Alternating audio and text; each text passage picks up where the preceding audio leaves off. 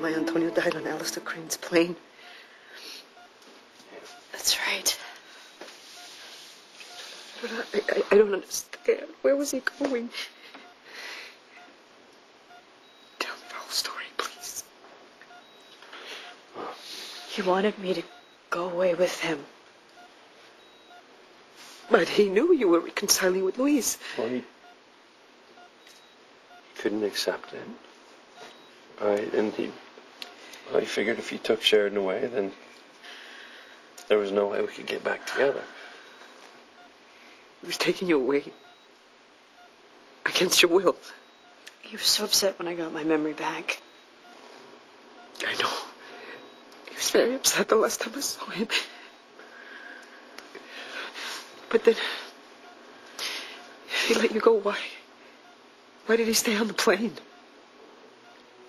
I don't know. I, I should have been on that jet when it took off, and I, I would have been if Antonio hadn't made the most difficult decision of his life. I don't understand. He saw how unhappy I was. He realized that I was meant to be with Luis and not him. Why did he stay on the plane? I don't know. I don't have an answer for that. Maybe he just wanted to get as far away from Harmony and me as he could, and I'm so sorry because this is all my fault. No, don't. Don't take it on yourself. My son is a. My son. My son was a grown man.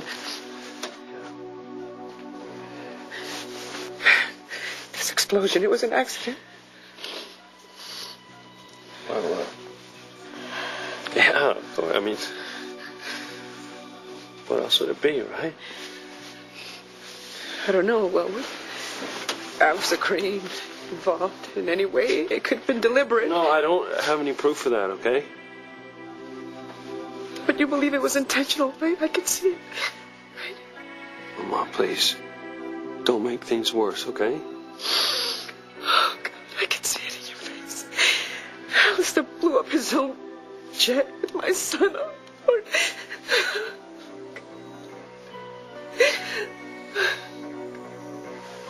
Yes. He thought that Sheridan was still on the jet. He didn't care who he killed. Oh, my oh,